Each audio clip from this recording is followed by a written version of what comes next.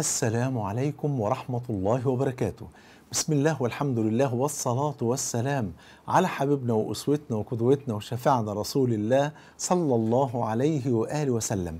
بتلك الكلمات القليلة يغفر لك ما تقدم من ذنبك. نعرف بعد ما نصلى على حبيبنا صلى الله عليه وآله وسلم الذي ما ترك خيرا إلا ودلنا عليه وما ترك شرا إلا وحذرنا منه.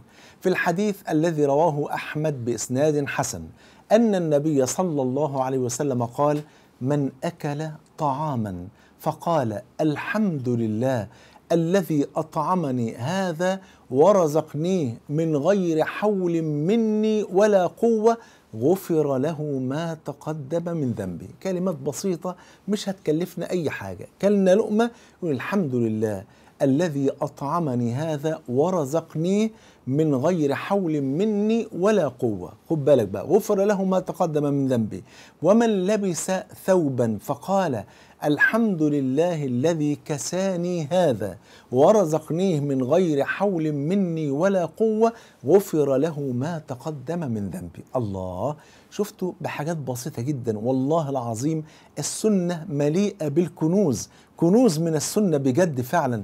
كلت لقمة. بعد ما كلت لقمة قلت الحمد لله الذي أطعمني هذا. ورزقنيه يعني رزقني هذا الطعام من غير حول مني ولا قوة. وإلا فالإنسان والله لو احتال ولو جمع الدنيا كلها على أن يأكل لقمة لم يقدرها الله فلن يأكلها. ولو اجتمعت الدنيا كلها على أن تمنع عنه لقمة قدرها الله له فلن تستطيع أن تمنع. وهذا ما قاله النبي صلى الله عليه وسلم كما عند الترمذي بإسناد صحيح. قال واعلم أن الأمة لو اجتمعت على أن ينفعوك بشيء فلن ينفعوك إلا بشيء قد كتبه الله لك. ولو اجتمعت على أن يضروك بشيء فلن يضروك إلا بشيء قد كتبه الله عليك والأمر غير غير قابل للتفاوض. قال صلى الله عليه وسلم رفعت الأقلام وجفت الصحف. بهذه الكلمات يا أحبابي. لبست توب كده. الحمد لله الذي كساني هذا.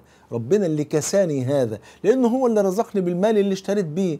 وكان ممكن يرزقني بمال وأروح أشتري ولا أوفق إلى ثوب جميل. إنما ربنا رزقني بالمال. وكمان لما رحت أشتري ربنا وفقني لشراء شيء أنتفع به وأتجمل فيه بفضل الله. يبقى الحمد لله الذي كساني هذا ورزقنيه من غير حول مني ولا قوة. لما تقول كده عند الطعام ولما تقول كده عند ما تلبس لباسا جديدا أو ثيابا جديدة بفضل الله سبحانه وتعالى يغفر لك ويغفر لك ما تقدم من الذنب. بفضل الله سبحانه وتعالى أسأل الله عز وجل أن يغفر لي ولكم وأن يجمعني وإياكم مع سيد ولد آدم صلى الله عليه وسلم في الفردوس الأعلى. بحبكم في الله. والسلام عليكم ورحمة الله وبركاته.